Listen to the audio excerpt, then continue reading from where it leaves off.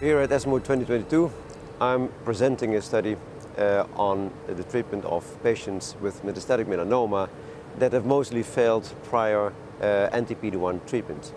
In this study, we randomized patients that had failed anti-PD-1 between ipilimumab, a standard of care, second-line standard of care, and the treatment with tumor-infiltrating lymphocytes. We randomized 168 patients in this study, uh, 84 patients for TIL, the other 84 patients for ipilimumab. Ipilimumab was given at a standard uh, uh, uh, schedule of 3 milligrams per kilogram every three weeks for four doses, until treated patients needed to undergo first a surgical removal of a metastatic lesion to obtain the TIL, and then we had to, uh, uh, we, we uh, hospitalize these patients about five to six weeks later, and in the meanwhile we grow the TIL to billions of cells. Patients were taken into the hospital, receive lymphodepleting chemotherapy to make physical space for the number of cells we would give. They would receive the cells, and following the cell infusion, also a couple of doses of high-dose interleukin-2 as a survival factor for these cells. What the study shows is that with a median follow-up time of 33 months, we see for TIL-treated patients that there was a 50% reduction in a risk of uh, progression or death compared to ipilimumab. So the hazard ratio was 0.5 with a p-value smaller than 0.001.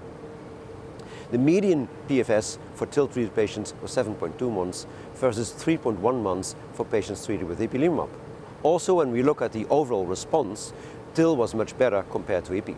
49% of the patients had a uh, objective response compared to 21% of the patients treated with IPI. Interestingly, 20% of the patients had, uh, treated with TIL had a complete remission compared to 7% in the ipilimumab treated patients.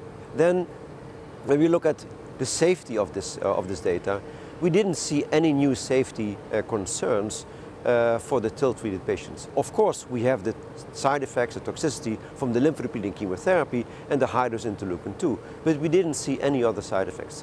When the patients were released from the hospital, uh, almost all of these side effects had completely disappeared and patient could then recover further at home. There were no long-term problems uh, seen in these uh, treated patients. So to summarize, I think that this first randomized controlled phase three trial um, investigating in a, a, a cellular therapy in patients with metastatic melanoma shows that, that there is great benefit and I think based on these data, TIL could become a new uh, treatment option for patients with uh, this disease.